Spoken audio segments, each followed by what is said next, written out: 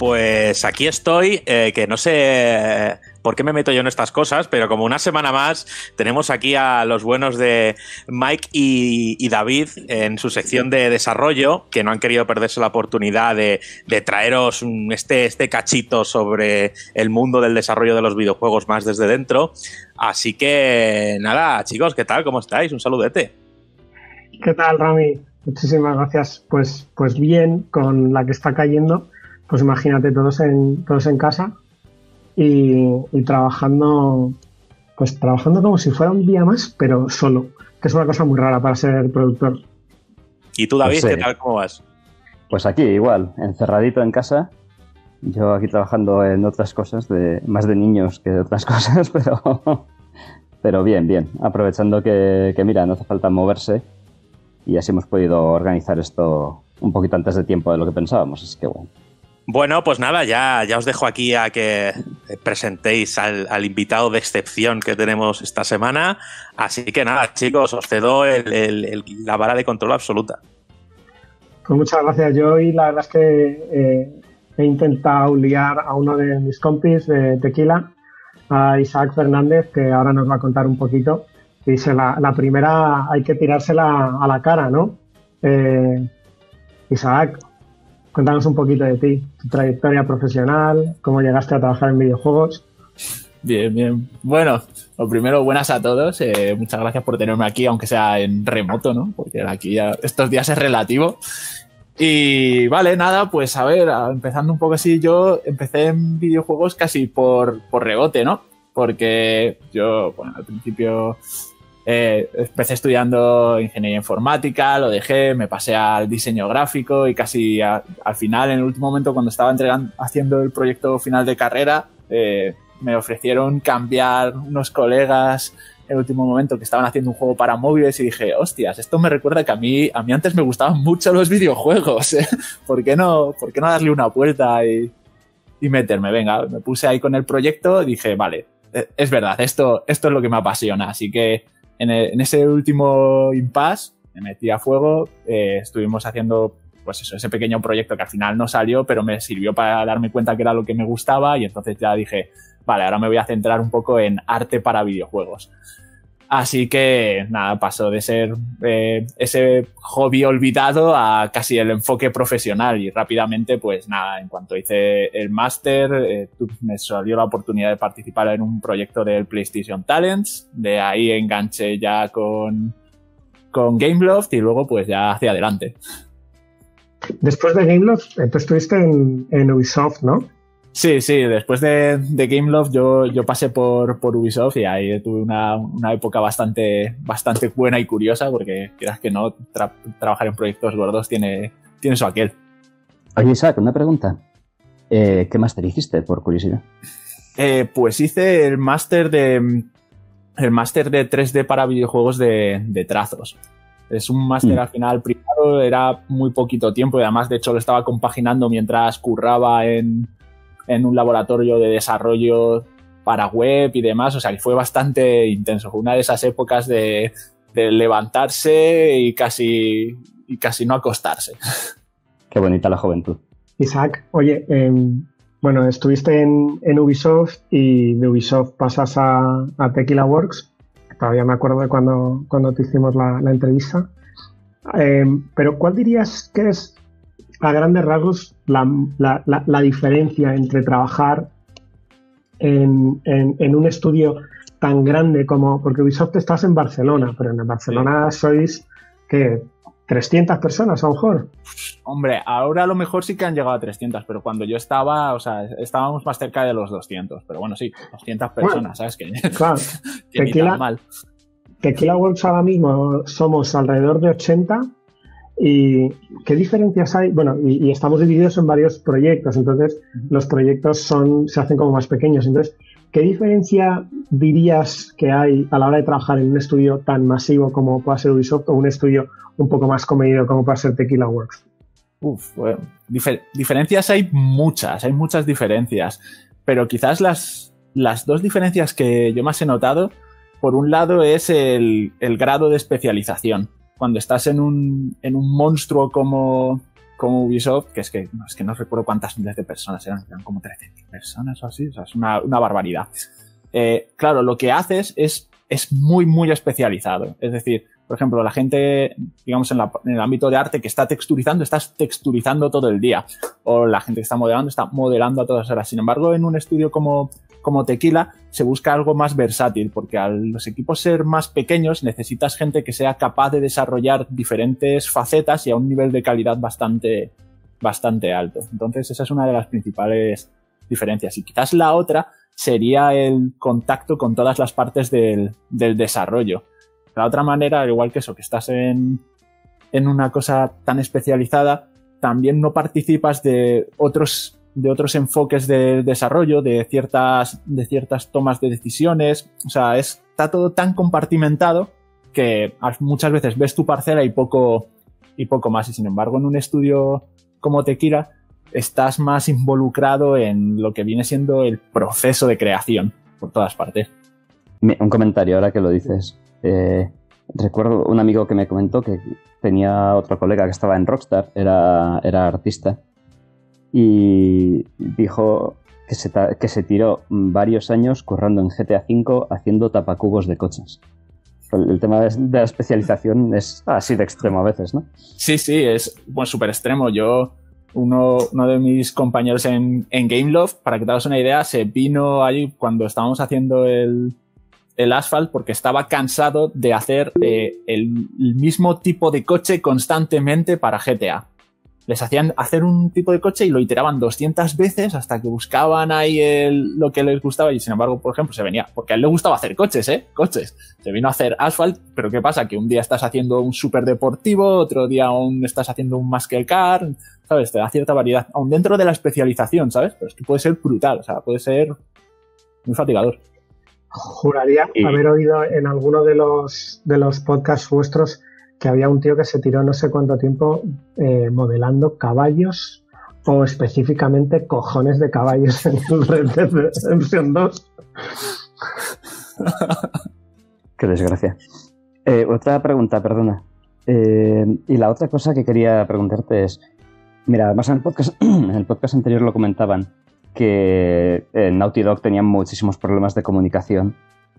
Quiero decir, un estudio, en un estudio como el nuestro, que aún así es pequeño, a veces hay problemas de comunicación. ¿Y cómo se vivía eso en Ubisoft? Wow, es que la comunicación es una, es una odisea. Ten en cuenta que, eh, que, claro, al ser tan grande, siempre hay una parte nuclear donde se lleva un proyecto, pero otros estudios están echando un cable con, con distintas facetas. Entonces, claro, imagínate simplemente, por ejemplo, si estabas ahí en Barcelona, comunicarte con Montreal para algo, ya solo el horario de diferencia era importante.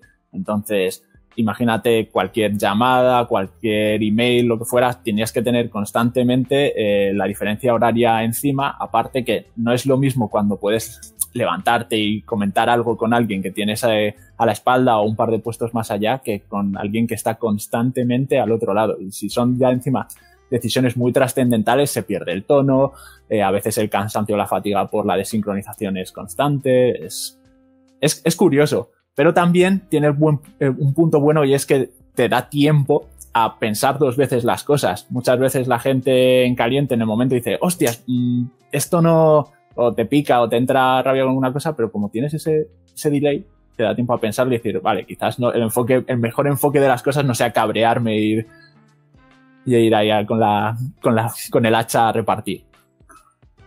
Yo, según, según lo comentáis y según lo hemos ido escuchando siempre, que al final en estas grandes empresas desarrolladoras, pues es eso, al final eh, el desarrollo de un producto no se afronta de la misma manera. Es decir, como podéis poner el ejemplo de Tequila que habéis puesto, pues un 3D artist, pues... Eh, engloba muchas más funciones que a lo mejor en una empresa más grande, como hemos dicho Ubisoft o Rockstar, hace una función eh, más chiquitita, más continua, más mimada al detalle, supongo que porque se pueden permitir tener a un nota haciendo un tapacubos durante, pues eso, años, o testículos y gónadas de, de caballos y demás.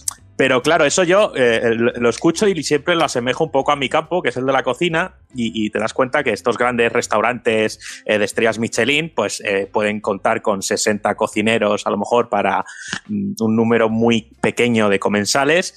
Y claro, hacen esas tareas a lo mejor tienes a un cocinero cogiendo las gambas y tallándolas de una manera para que al cocerlas queden tal. Entonces, al final, sí que queda claro que la suma de esos mm, pequeños trabajos al mínimo llevados hasta la máxima expresión, eh, pues dan como resultado una cosa muy tocha.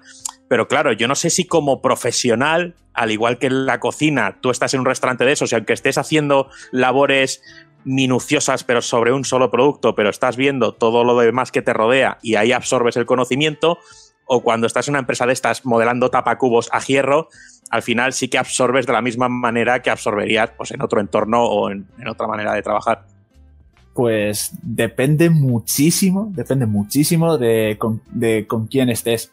Porque yo he topado con gente que, que, claro, que a lo mejor se habían tirado, pues eso, años haciendo una única cosa, luego habían evolucionado más hacia la parte que les gustaba y al final habían conseguido ya desarrollarse en, en lo que les gusta y eran súper abiertos y enseguida en cuanto tenían un hueco, pues te decían, oye, vente, que te voy a enseñar cómo hacer esto, mira, eh, si quieres revisamos lo que tengas y demás y te ayudaban a desarrollarte.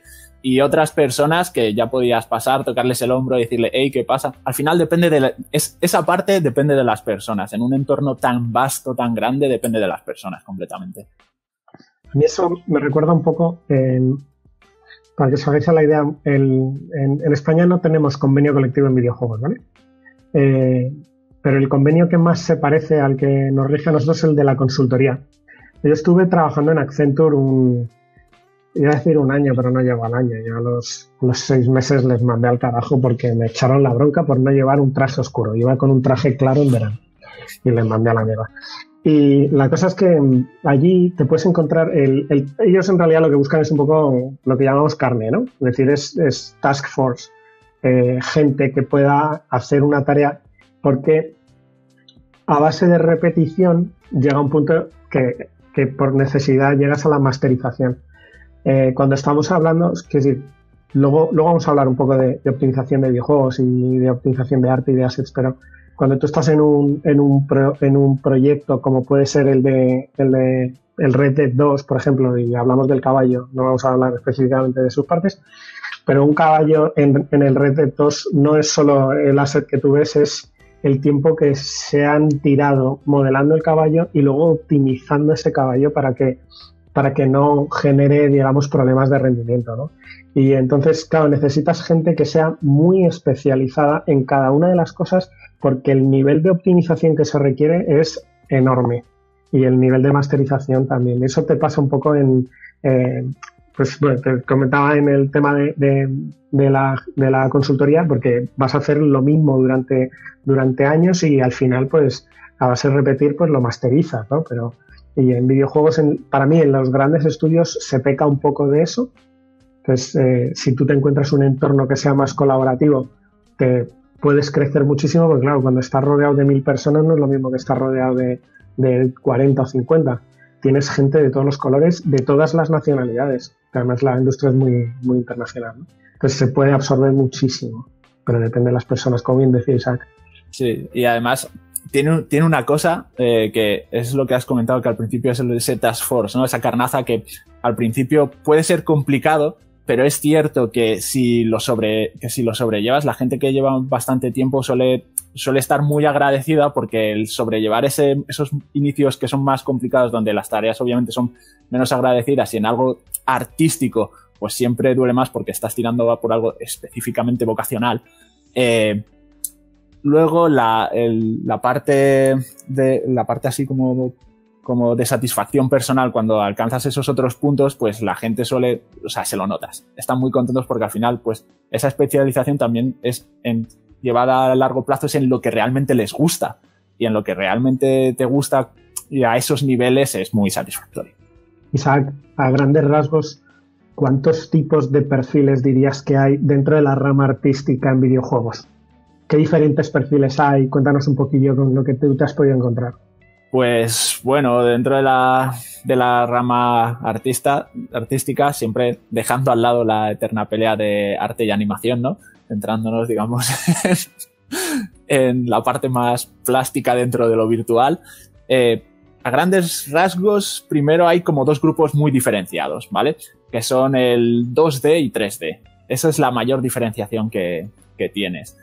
Eh, dentro de, los 2D, pues principalmente se pueden resumir a día de hoy en el concept, concept art. Hay, bastante, hay parte que se puede englobar como desarrollo visual o sí, o, lo que se llama muchas veces. Explica, explica un poquito qué es el desarrollo visual, por favor. Pues mira, es una, es una parte muy curiosa y creo que es de las más entretenidas.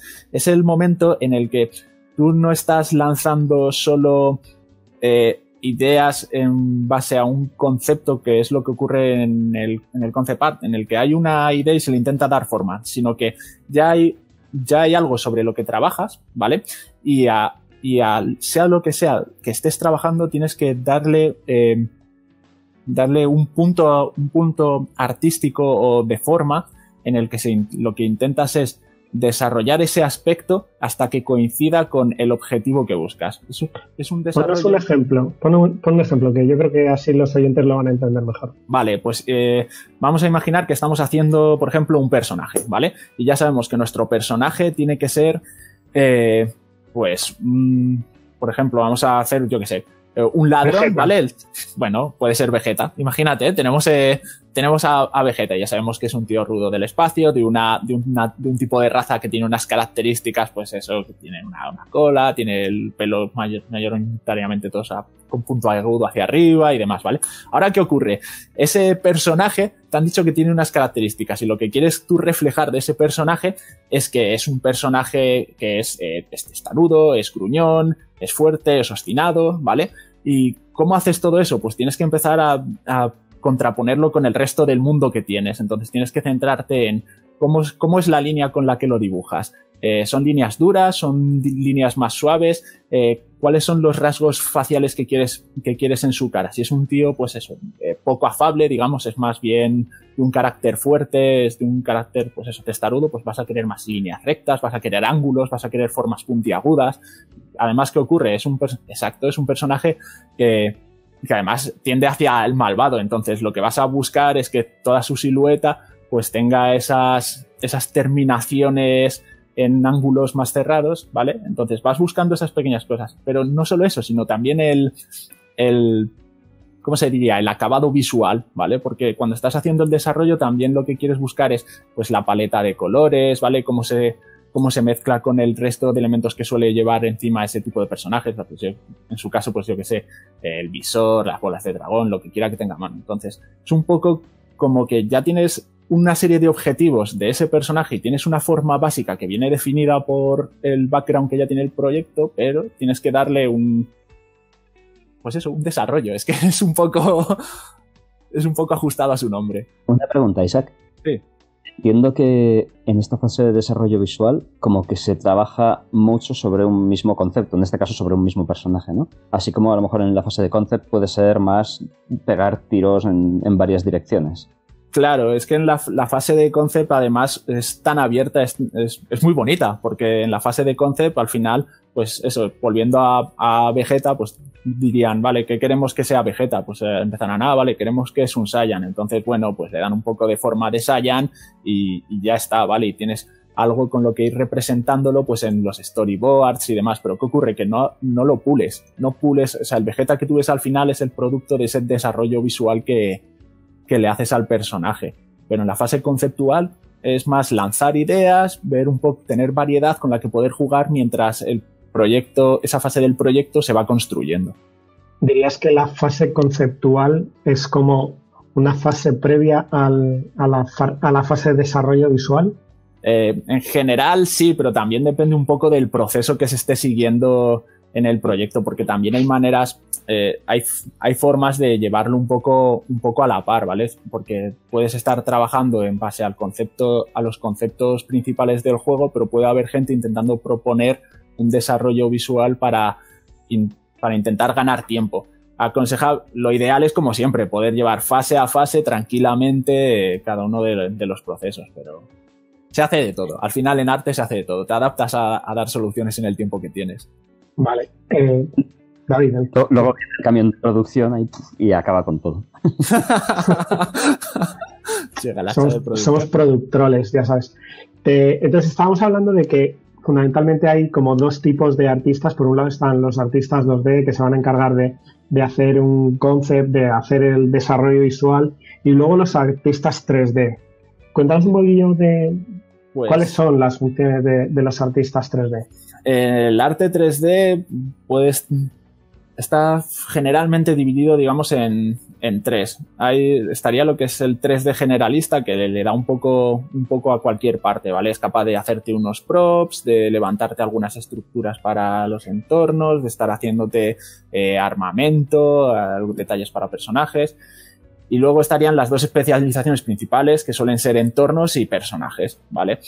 Eh, los artistas de entornos, además, pues pueden estar divididos en lo que viene siendo generación de, contenido y los que se dedican a la construcción de los, de los propios entornos. De hecho, hay una, hay una especialización dentro de los entornos que son los iluminadores, que al final acaban dejando bastante de lado la parte del modelado y se centran muchísimo en la vertiente más artística del entorno, ¿no? Que es tratar la composición, la guía visual, y cómo, el cómo poder acercar la mirada del jugador a las, a las zonas importantes con con el, tratamiento de la iluminación, también la buena lectura de las escenas, es, es una pasada esa parte. Y en los personajes, pues bueno, qué decir, es la gente que se tiene que pegar día a día con la anatomía, las mecánicas corporales, la, la silueta, el conseguir darle carisma a estos personajes.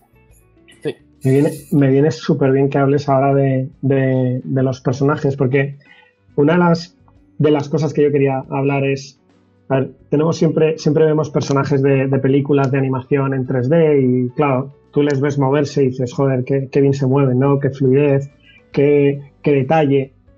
¿Cuál dirías que es la principal diferencia entre un artista 3D de películas de animación y un artista 3D de videojuegos? Uf, a ver, mis conocimientos de cine te tengo que confesar que son bastante limitados a este respecto. Pero creo que la principal diferencia son las limitaciones técnicas.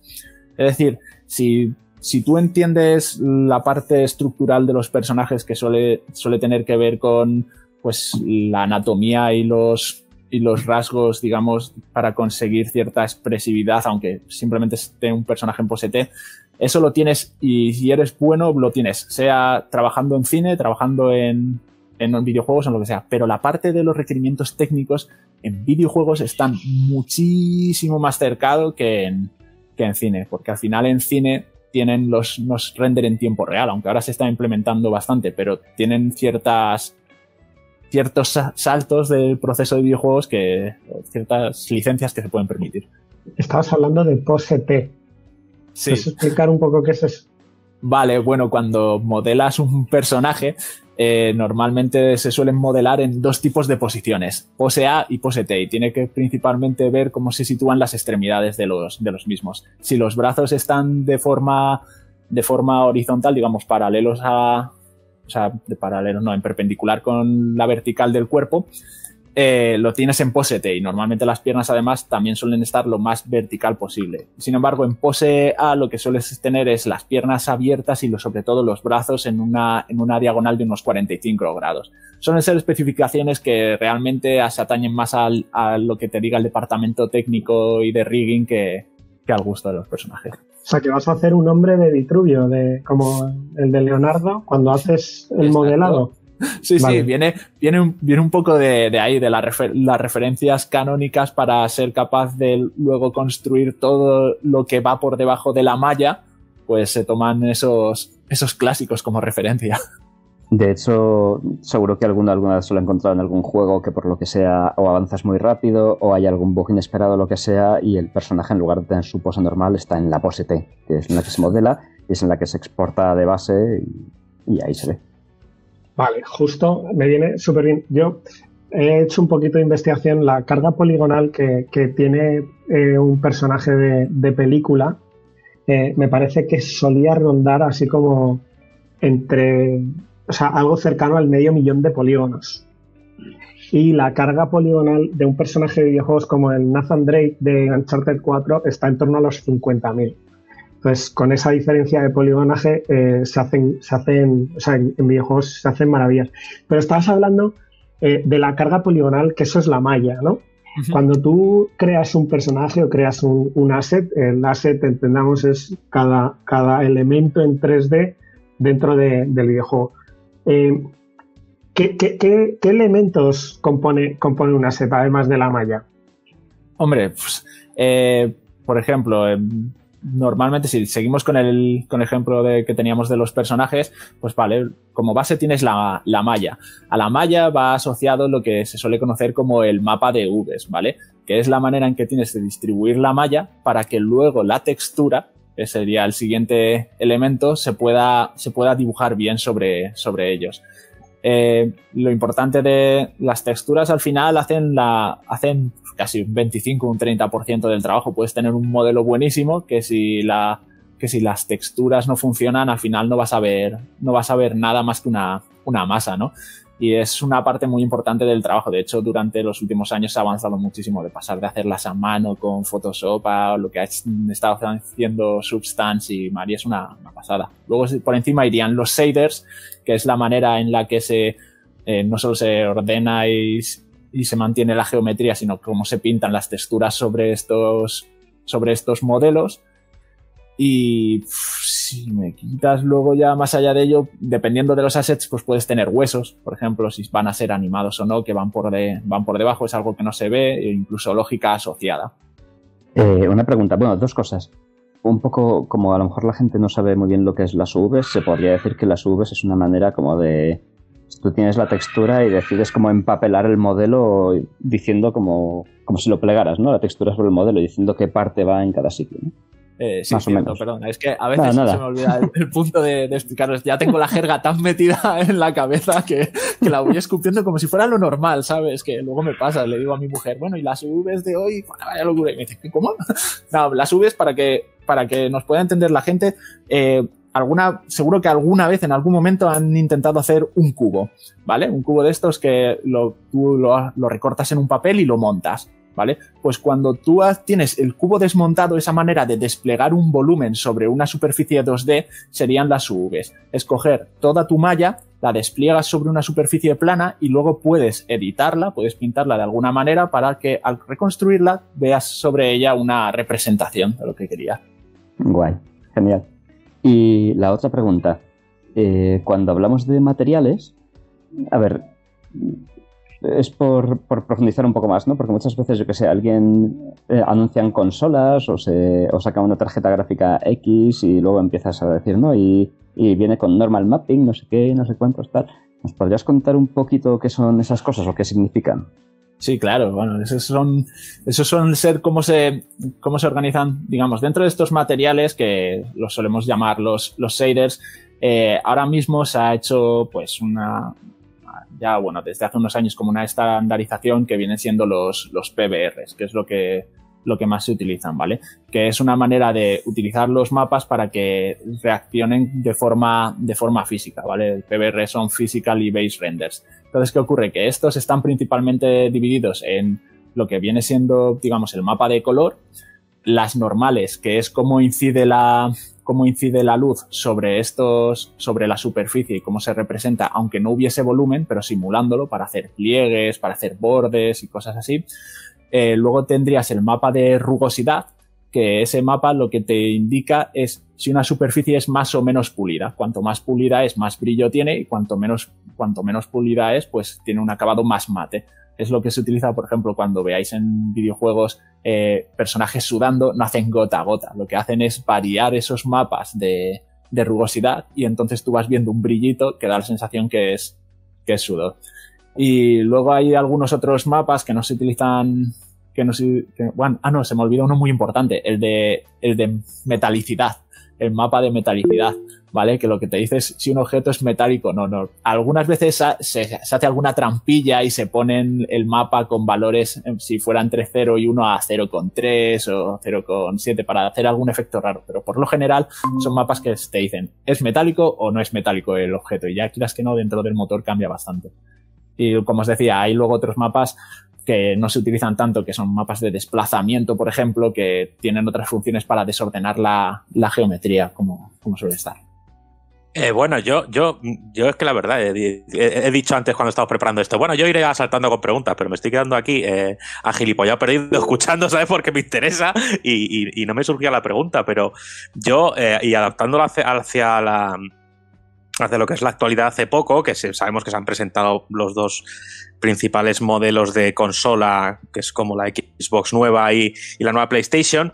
Y quería saber respecto al, modelado 3D y demás, eh, todas estas especificaciones de rapidez de carga en, discos duros y demás, quería saber si, si, hay algún tipo de repercusión directa o técnicamente hablando en el modelaje 3D o en realidad mm, solo afecta lo que es la carga de los polígonos y ya está. O sea, hablo así un poco a lo bobo, pero quiero entender que todo esto también va a influir en vuestro trabajo y que, y que os va a dar nuevas salas para ampliar más, no sé si en calidades o en, o en carga poligonal o lo que sea, pero vamos, pues si me puedes decir, Isaac, para que me quede claro.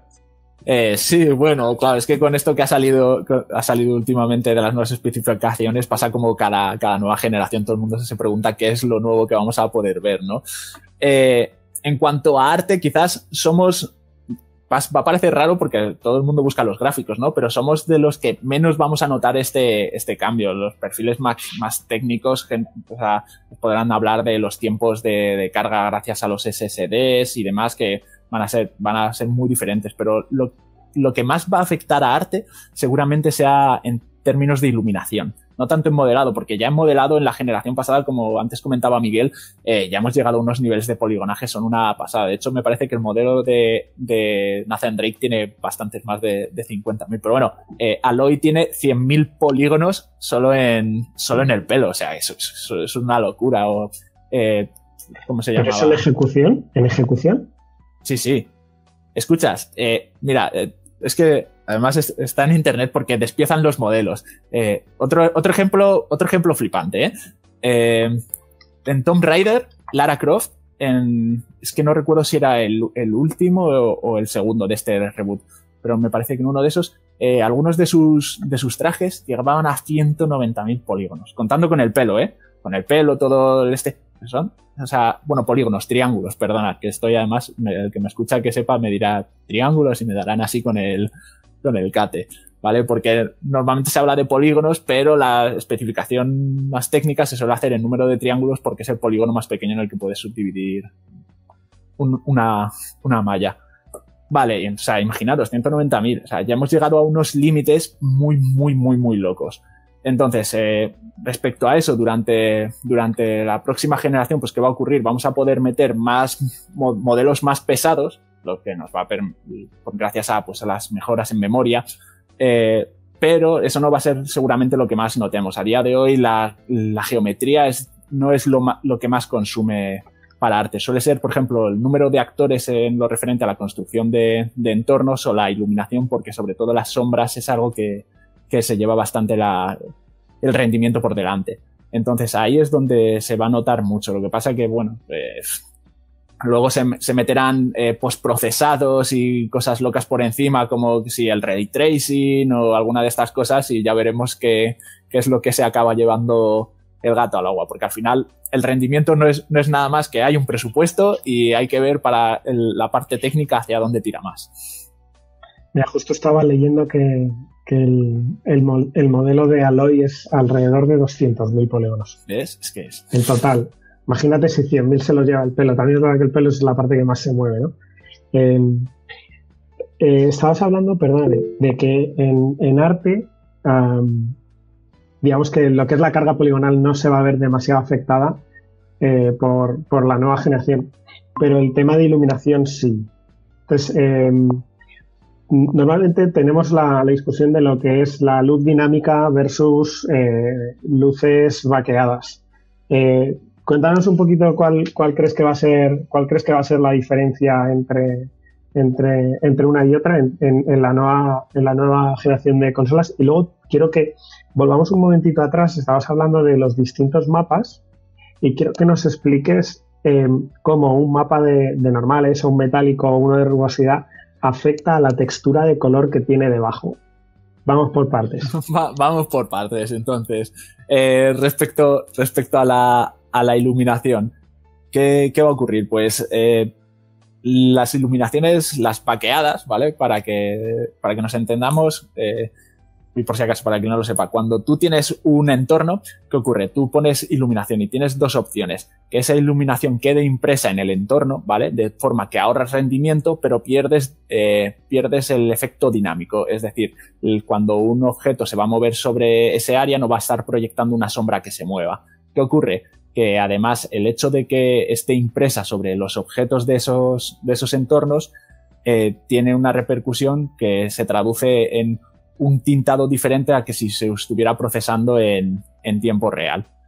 Eh, con las nuevas tecnologías, ¿qué va a ocurrir? Los mapas que. Esa, iluminación, cuando queda impresa en el entorno, se realiza en unos mapas. Y esos mapas, pues, tienen un tamaño como cualquier mapa. como cualquier mapa de textura que haya en un videojuego. Al tener mayores especificaciones, podemos tener unos mapas muchísimo más grandes. ¿Qué ocurre? Que entonces todos los objetos no van a tener que estar tan acumulados en mapas pequeños y vamos a obtener eh, unas iluminaciones mucho más definidas. Si queremos, y por definida no me refiero a que los bordes sean, sean más sharps, ¿vale? No, no tiene por qué. Si, estamos hablando de una luz con cierta difusidad, pues oye, el degradado que va a ocurrir pues va a ser mucho más intenso y al revés, si lo que tienes es un foco potente, la luz va a ser dura y vas a ver el corte perfectamente, no vas a tener esos dientes de sierra horribles que ocurren en las luces pero lo importante viene en cuanto a, la luz dinámica. lo que ¿Cuántas veces no, os ha pasado que habéis visto juegos que no tenían luz dinámica y entonces daba esa sensación de que el personaje flotaba porque no había una sombra o la sombra que se ponía era un disco feo en el suelo y ya está? ¿Qué ocurre? Que ahora la posibilidad de que la mayoría de las sombras sean dinámicas va a permitir eh, cambios de iluminación en tiempo real. Entonces, esos cambios de iluminación de tiempo real que ya ocurren en algunos juegos pues van a dar más, más juego visual. Y aparte de eso, no solo va, va, a traducirse en esos cambios, sino en la iluminación global, que es el efecto que produce los rayos de luz cuando rebotan entre las distintas superficies. Es decir, si tú tienes una pared verde y, pones un folio blanco al lado, el folio va a tener un tintado verde. ¿Por qué? Porque la luz de la pared está rebotando en el folio. Pues eso ocurre también en los juegos. ¿Qué ocurre? Eso se lleva una cantidad de recursos impresionante. Eh, ¿Qué pasa? Mayor capacidad de procesamiento, mejor memoria, GPUs más potentes, se traduce en que eso lo puedes llevar al juego. Entonces te va, te va ganando una, una sensación visual mucho más realista. Y eso, eso en cuanto a la iluminación, es que son muchos temas. vale. el otro era cómo inciden las distintas capas que estabas hablando antes del el shader, ¿no? El ah, metálico, el de la rugosidad, el, era el metálico, el de la rugosidad, y el otro me había dicho el, las normales, mapas normales. Sí. ¿Cómo, cómo, o sea, ¿Cómo afecta a la textura que lleva debajo eso? Pues, claro, esto es, esto es una. La lleva debajo, entiendo, ¿no? Sí, exacto. Digamos que no es que estén ordenadas de arriba a abajo, pero podría entenderse que es. Digamos que sí, ¿vale? Pongámonos que están ordenadas de, de arriba a abajo y abajo del todo vamos a tener el, mapa de, color y dependiendo de las aplicaciones que le pongamos de mapas por encima, pues va a resultar, vamos a tener un resultado, un resultado u otro. ¿Qué ocurre con esto? Que esto va a ser como, como cuando un mago saca, te enseña el truco, ya pierde la gracia, ¿no? que eh, cuando tú tienes, por ejemplo, el mapa de normal, cuando antes hacía referencia a que eh, lo que ves es el resultado de la de cómo la luz incidiría sobre ese objeto si tuviera ciertos volúmenes, aunque fuera plano, el ejemplo de las arrugas es maravilloso. Tú a lo mejor cuando tienes un modelado de, una chaqueta tienes prácticamente todo plano, ¿vale? Ajustándose un poquito a los salientes. Sin embargo, puedes, eh, puedes dibujar muchas líneas por encima en el mapa de normales. ¿Qué ocurre? Que ese plano, al cambiar la luz, tú vas moviendo la luz, por ejemplo, de izquierda a derecha y vas a ver cómo se proyectan las arrugas. Eso lo que, te, lo que te hace es que tengas la sensación de que cualquier cosa con bajo polígono puede aumentar su nivel de detalle. Eh, ahí te va a incidir principalmente en la textura, en las sombras. Las zonas, de, las zonas eh, con luminosidad o con sombra es lo que vas a ver dentro de estas, de estas texturas. El mapa de rugosidad normalmente va a aumentar eh, los blancos. Si se queda una rugosidad muy, muy alta y entonces es un mapa mate, pues no vas a notar, no vas a notar más, nada más que el color plano. Si es un, si lo tienes en una rugosidad alta, lo que vas a notar es que la luz eh, refleja muchísimo más y entonces vas a tener picos blancos o mucho más claros sobre ese, sobre ese mapa. Y, por último nos quedaría el mapa de metalicidad. Y este es maravilloso. ¿Qué ocurre cuando cualquier objeto es metálico?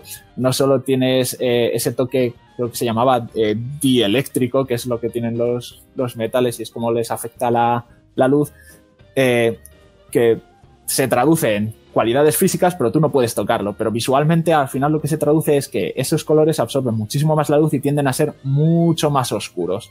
Pero ¿qué ocurre? Que los brillos también les afectan de una manera mucho más alta. Entonces vas a tener, si tú le pones metalicidad a, un mapa, eh, con un, azul clarito, ese azul va a quedar mucho más oscurecido, pero cuando le, le dé la luz, eh, los, los, brillos van a acentuarse muchísimo, muchísimo más, que es lo que le pasa a los metales. Así de forma general. Madre mía, eh, eh, yo creo que está este, eh, Miguel y David son unos sinvergüenzas porque aquí la masterclass que está metiendo Isaac ahora mismo, o sea, esto no está pagado ni mucho menos, o sea, que, que esto flipante, ¿sabes?